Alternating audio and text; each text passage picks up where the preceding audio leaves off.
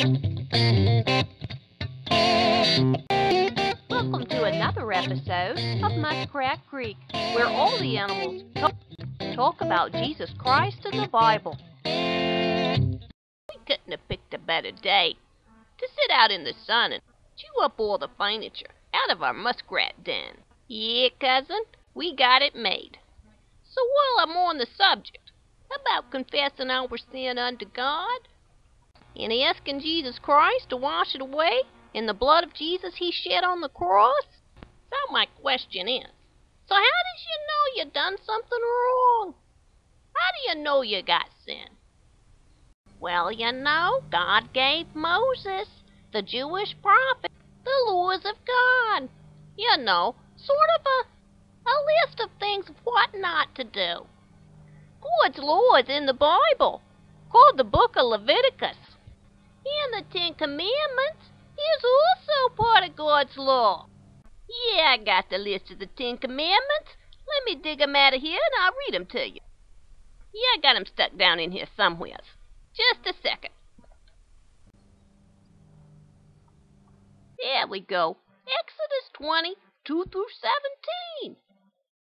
Thou shalt have no other gods before me. Thou shalt not make an idol, nor bow down to it, nor worship it.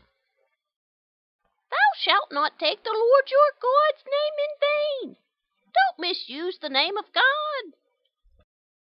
And remember to keep the Sabbath day holy.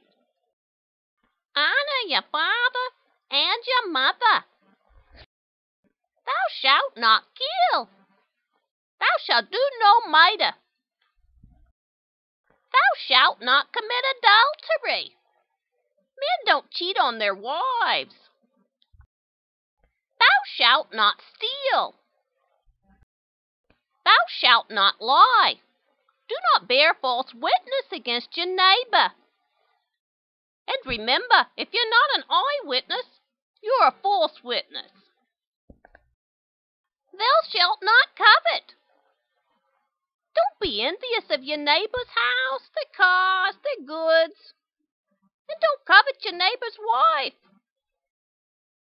You go to the Bible to find out the right way to live. What's right and what's in wrong. You use it as a guide for your life.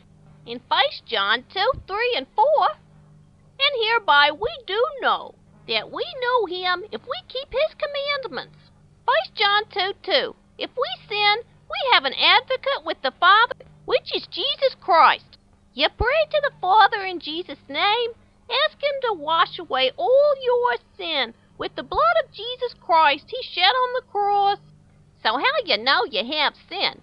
As if you've broken one of the commandments God gave.